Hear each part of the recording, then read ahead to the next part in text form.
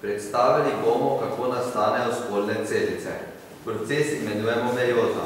V spolnih organih imamo diploidne praspolne celice. Pomeni, da vsebujejo praspolne celice en komplet kromosomov od matere in enega od očeta.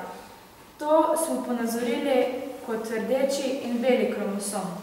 Prej kot poteče proces mejoze, se kromosome podvojijo.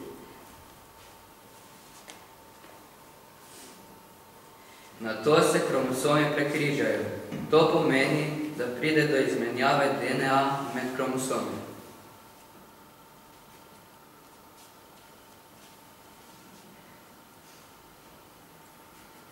Pari podvojenih kromosomov se razporedijo po ekvatorialni ravnini in se nato ločijo in potujejo proti poloma celic. To je prva mejotska delitev.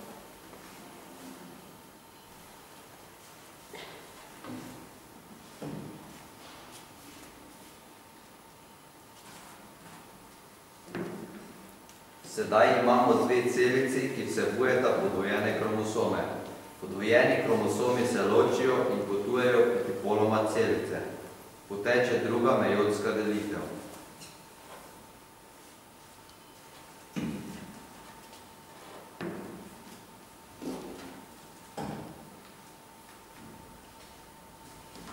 Dobimo štiri haploidne celice z različnimi kromosomi, s različnimi genetskimi materiali. To je to.